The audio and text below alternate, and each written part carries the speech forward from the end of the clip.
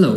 Today we're having a review of a new series from Rigol DS1000Z oscilloscopes. The devices of this series are characterized by four input channels. The series includes oscilloscopes with a bandwidth of 70 and 100 MHz. There are also modifications with a built-in dual-channel waveform generator. These modifications have an S index in its model name. For example, the DS1104ZS model is a 4-channel oscilloscope with a 100 MHz bandwidth and dual-channel waveform generator. DS1104Z model is an oscilloscope with the same parameters, but without a waveform generator. The devices of this series are equipped with a 7-inch display with a resolution of 800 by 480 capable of displaying 256 tone gradations. Maximum sample rate is 1 GHz. Memory depth is 12 MB. We should also mention high waveform capture rate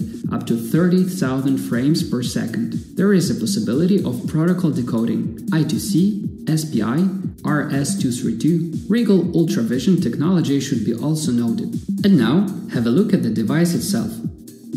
DS1000Z series scopes have the dimensions similar to other products of the same class. You may visually compare the great step forward the manufacturer made during the recent years on the market.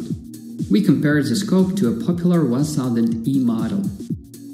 So Z series has more functions and 4 input channels, the size is similar to E series. Z series scopes are slightly higher, both have almost the same width. However, Z series has smaller depth. The front panel features 7-inch display, controls, channel inputs, 1 kHz calibration square wave output. The device has flip-out feet. The back panel houses a USB interface LAN interface, power jack. Synchronization output is combined with a pass-fail output. The models with S have the outputs of the first and the second generator channel. Brief review of the features and functional characteristics of the device. There will be no difficulties for those who has some experience of working with digital oscilloscopes. All the controls are traditional and intuitively obvious. One of the peculiarities is that it has four input channels and only one area of vertical system control. It is also very simple. You choose the active channel and adjust its parameters. For example, now the active channel is channel 2. It is displayed on the screen and you may change its position and gain factor. If you need to change the parameters of channel 1, press channel 1. It is displayed as active channel and change its parameters as shown. You may also switch to channel 4, but as nothing is connected to it, there is no real signal. You may change its position and gain factor as well as disable it. That is the main specific feature. Now let's name all the features. Auto measurements. You may use a separate menu button as well as use buttons to the left from the display, which I think is easier. For example, I have a channel 1 active and I want to display peak-to-peak -peak voltage.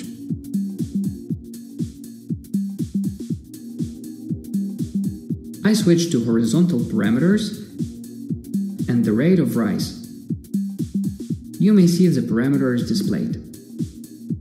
I need some characteristics of channel 2 displayed. For example, frequency and maximum value. I have all four parameters displayed on the screen. I may disable some of them. Enter the measure menu and disable the first characteristic and the second one.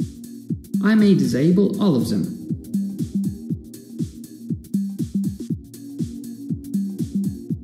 And I may disable all available parameters.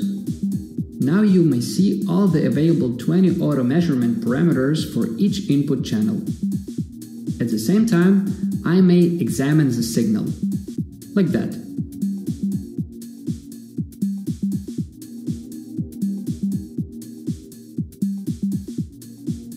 Measured characteristic of all four channels may be displayed. But I won't be able to see the signal itself. Such an option is available. Next we have an acquire mode.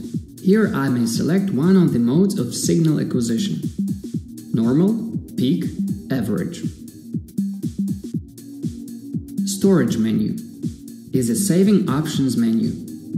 Here I may select one of the variants of storing the signal, the screenshot or the scope settings.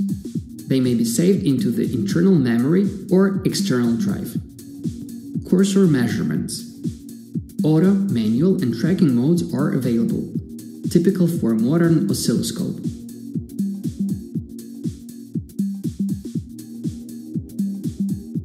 Display menu. Here I may choose the data displaying mode, vector or point. Adjust brightness. Disable the grid. Disable reference axis. Enable all. Utility menu. It is a system menu for oscilloscope control. I may enable, disable the sound, interface parameters, change the language currently English and Chinese are available. However, after the firmware upgrade, the multilingual user interface will be available. Math function menu There are plenty of operators available, more than traditional oscilloscopes usually have. Apart from add, subtract, multiply, divide, there is a fast Fourier transform option, logic functions, integration functions, differentiation functions, square root, decimal logarithm, natural logarithm, exponential function, and more. In the past, these options were unaffordable. Now you may get all these functions at a reasonable price. Trigger menu. Here we have a lot of trigger types edge, video, pulse widths, as well as RS232 signal, I2C, SPI. A lot of features. Now let's pay attention to the waveform generator. Models with Z-index have a built-in dual-channel waveform generator. Maximum output signal frequency 25 MHz. Press Source button to enter the menu. Several signal waveforms are available. We will talk about the main forms. Enter channel 1 settings. Sine, square, ramp, pulse signals, noise, building waveform.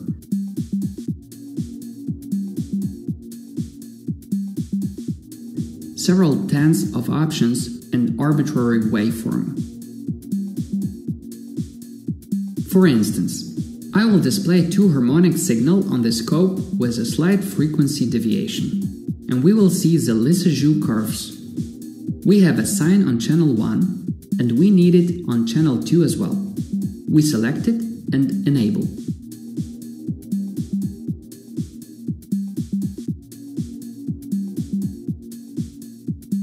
We also choose a small frequency deviation.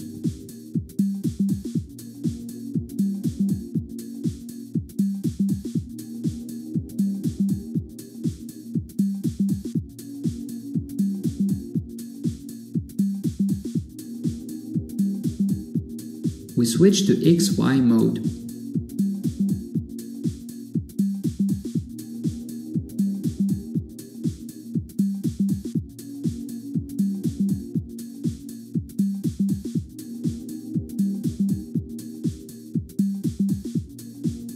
Now we may observe a Lissajous curve. We have two harmonic signals with a slight frequency deviation. We may change the ratio, set the frequency to 3 kHz, and the waveform changes. And so does the rotation speed. The new series is a success and may become a bestseller on the market of low-cost oscilloscopes due to 4 input channels, 12 MB memory depth, wide signal processing capabilities, and a good price-quality ratio.